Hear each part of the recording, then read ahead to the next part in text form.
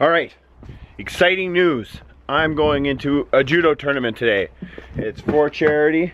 Uh, I don't know who I'm competing against. I haven't done judo in fucking forever, but for charity. And if I have a brand that is saying it's hard as fuck, I might as well do cool things.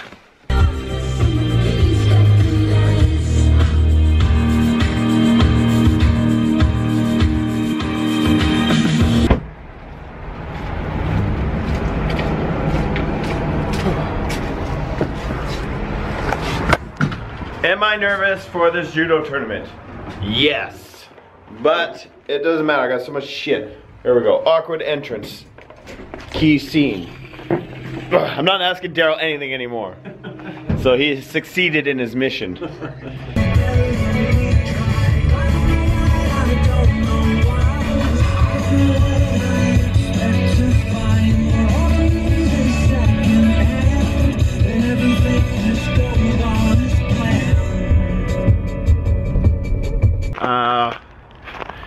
Going to a gym I've literally never been into. Going to go against competitors. I have no idea who they are.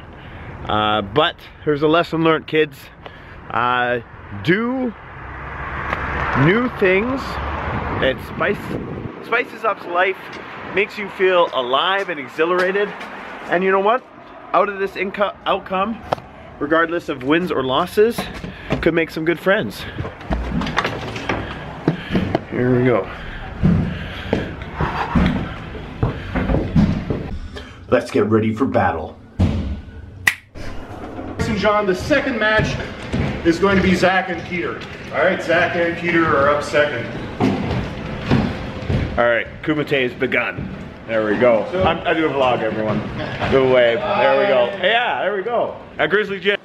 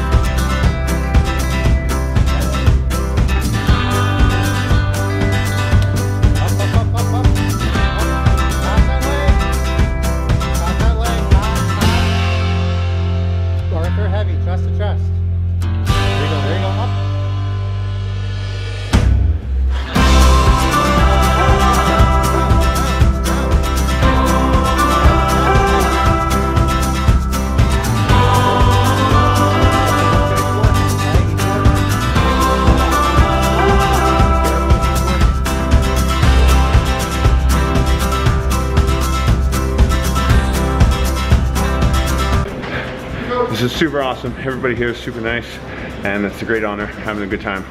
I'm glad John surprised me. I thought we were doing a bike-a-thon.